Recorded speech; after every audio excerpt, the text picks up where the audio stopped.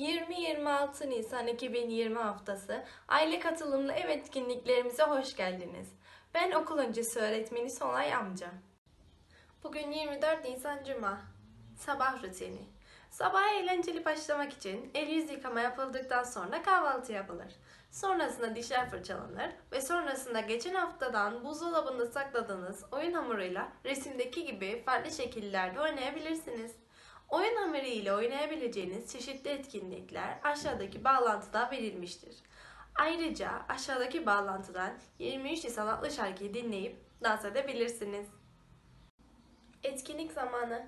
Bugün sizlerle dans eden mısırlar deneyi yapacağız. Deneyimiz için gerekli malzemeler su, karbonat, sirke, mısır taneleri ve kavanoz.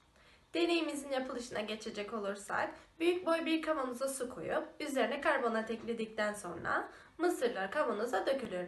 Üzerine bir miktar sirke dökülür ve mısırların nasıl dans ettiği gözlemlenir. Sizler için hazırladığımız örnek videoyu aşağıda izleyebilirsiniz. Akşam rutini.